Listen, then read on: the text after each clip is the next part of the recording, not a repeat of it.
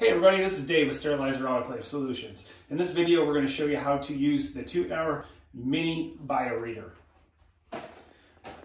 Super simple to use. As soon as this machine's plugged in, you're to see the lights come on. There is no power button on this machine. It automatically turns on.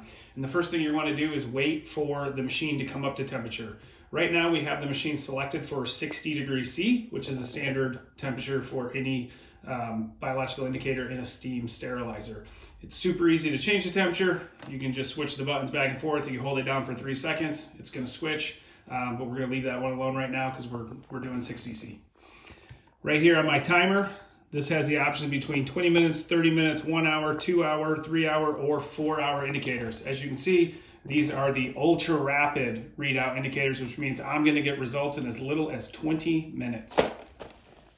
So first step is, once the reader has been placed in your autoclave or sterilizer and has gone through the cycle, we're going to pull this out. There is live bacteria in a vial inside here. If the steam sterilizer did its work, that bacteria will be dead and it will give us the readout telling us that. Once your indicator has been sterilized and removed from the sterilizer, our first step is we're going to press the blue cap down. We're going to hear a click.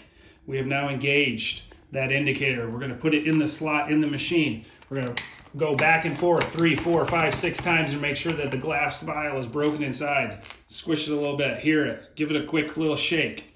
And then all we're gonna do is put it in any of the available open slots, set at 20 minutes, put it in, the machine tells us the test is now underway.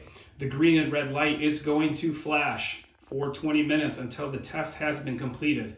Once it's going to be completed, it's either going to give us a green light indicating that the test result was negative for bacteria, or it will give us a red light indicating a positive result for bacteria.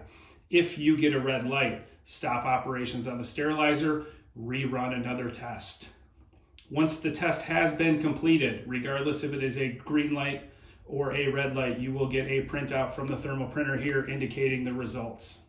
If you like these videos and you'd like any more information or learn more about these biological indicators and readers, please give us a call at 704-966-1650, option 1.